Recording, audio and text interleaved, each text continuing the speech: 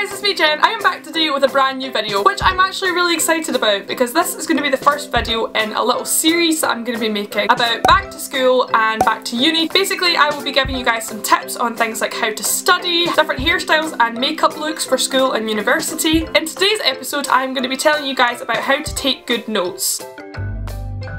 My first step is to be organised and prepared. I am one of those sad people that absolutely loves stationery.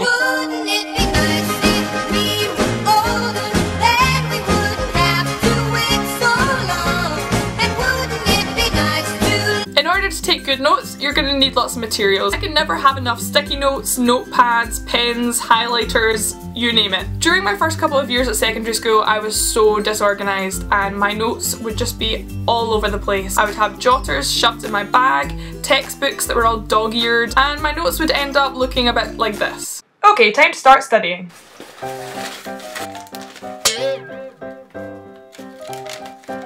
Where are the rest of my notes? Hmm.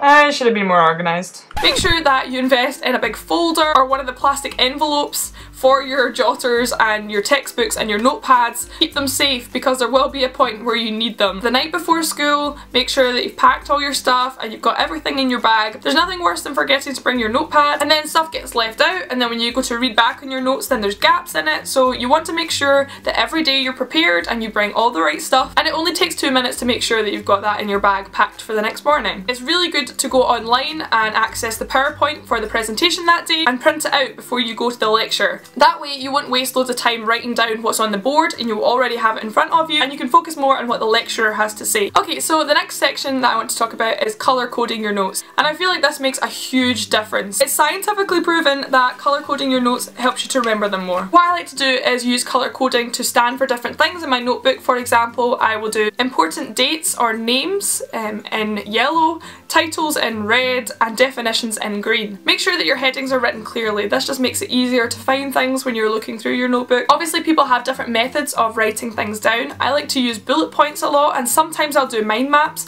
but you really need to figure out what style is right for you. When it comes to the actual note taking you need to make sure that you don't write down absolutely everything. PowerPoints will be available at a later stage so it might be a bit of a waste of time writing down exactly what's on the board because that might result in you missing something valuable which the teacher has said which might not necessarily be on the board. It's really important to listen to what your teacher or your lecturer is saying because they can give you some really valuable conclusions and things which might further help you to understand the point that they're trying to make. You don't have to just write in a notebook. I like to use cue cards and sticky notes. It's a really good way of condensing information onto little like leaflets and it's really portable as well so you can take it all over the place with you. You can also use those to test yourself later on when you're studying. Make sure you go out and check the Tumblr tag Studyblr. A tag for inspiring studying and there are so many like amazing notebooks in there and mind maps people have done that are like works of art and hopefully that could give you some inspiration of some cool ways to lay out your notes and motivate you to study. Okay so I know that was like a lot but I hope you guys found that really helpful. That was just some of the tips that I have used when I have been making notes. This is obviously a bit more of a serious video. If you guys have any other ideas of some back to school type videos that you would like to see make sure you leave them in the comments below. As usual my social media will all be at the end if you want to check me out on that.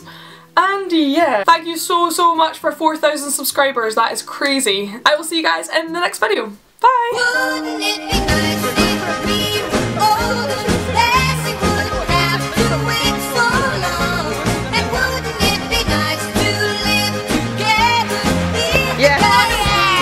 Diego.